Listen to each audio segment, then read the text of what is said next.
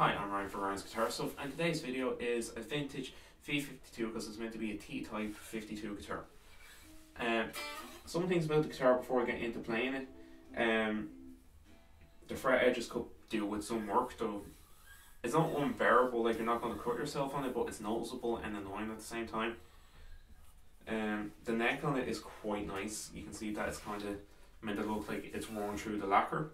It's lightweight enough for the size.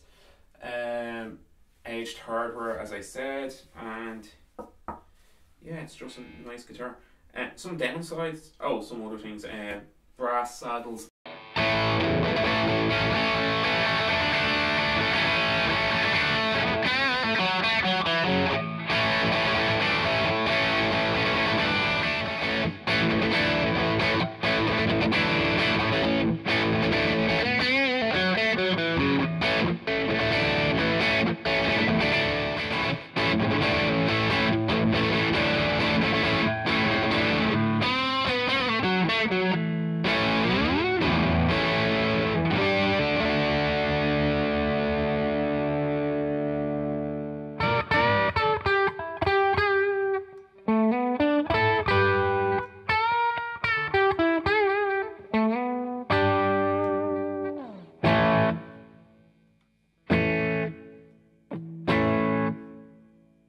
So weirdly enough, the Brit, the neck pickup is out of the three, and it should really be the middle positions because they're both wire, they're just a wiring thing.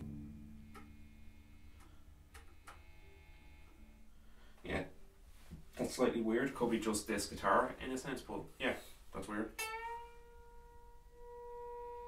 The sustain on it is alright. It's not the best. It's not the worst.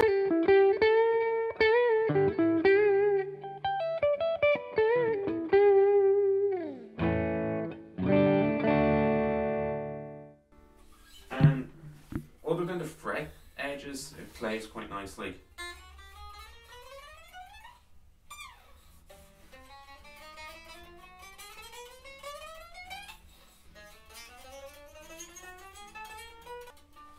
Yeah, it plays all the way up and down the fretboard in the sense like there's no dead spots, which is really nice at a guitar at this price point.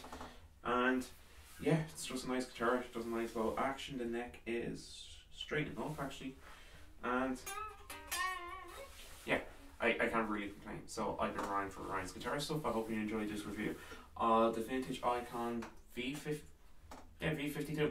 So six. Oh right, price three ninety nine ninety five. So you.